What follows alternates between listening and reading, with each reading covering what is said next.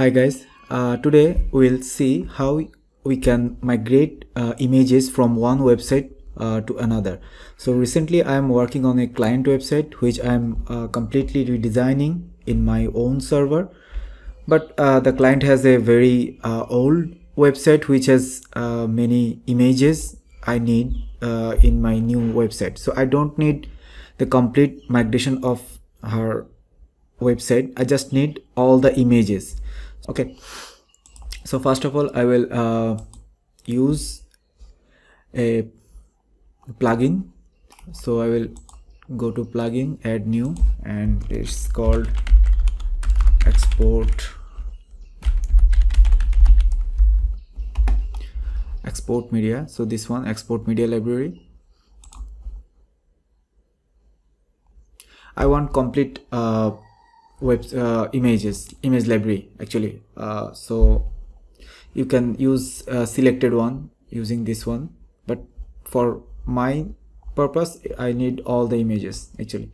So when I mouse over the media you will see that there is a new option called export. You can click on it and there is two option uh, folder structure single folder with all images or nested folder. Uh, we can compress the image but for now it's okay. I, I can download the image library. Okay it will download. Just wait for a couple of minutes.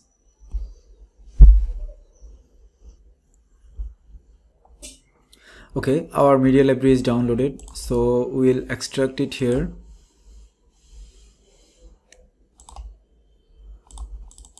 and you can see that our images are organized in folders so which is good actually.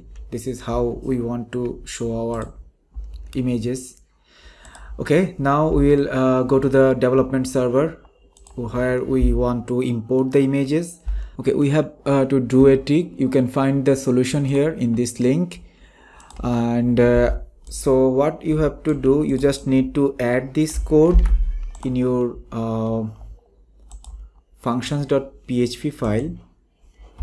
And uh, obviously you need to remove it after you are done with your work.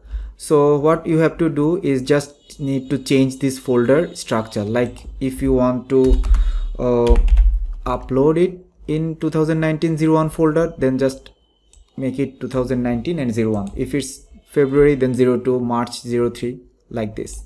Okay upload this file and keep this uh, window open. So you remember that you need to remove this thing uh, after you uh, complete your task. Okay.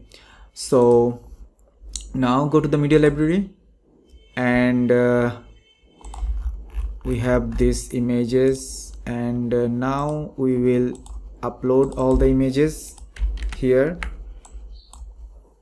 after uploading uh, you can click any images and you will see that it's uploaded in September 10 uh, 2000 uh, 2021 which is today. But uh, when you see the link file url you will see that it's uploaded actually uploaded in the under 2019 01 folder. So if you have any uh, blog post or any other uh, page which uh, link using this url it will be automatically visible because this file is available in this in the exact folder and exact url it's up uh, the modified date is changed but the original uh, image folder and image url is same. Okay so now if we go to the file manager and uh, check if everything is working or not then click 2000 okay 01 and you can see we have all versions of the images here including the theme version which uh, our new theme support and uh, the obviously the original image also. So that's good. It's look uh, good to me. And yeah it's updated and i will do it again for 02 we just need to change 02 and update the file. And uh, go to the second folder and came our again here. Just copy all the images. Okay now uh, our all our images are uploaded and you can see that it's under 1902 folder. Okay so everything is working uh, like we expect. And uh, now we'll uh, change it uh, for next one. And uh, just the most important thing is remember that you need to uh, delete this function. I hope it will help you to uh, import your old images or migrate images from one website to another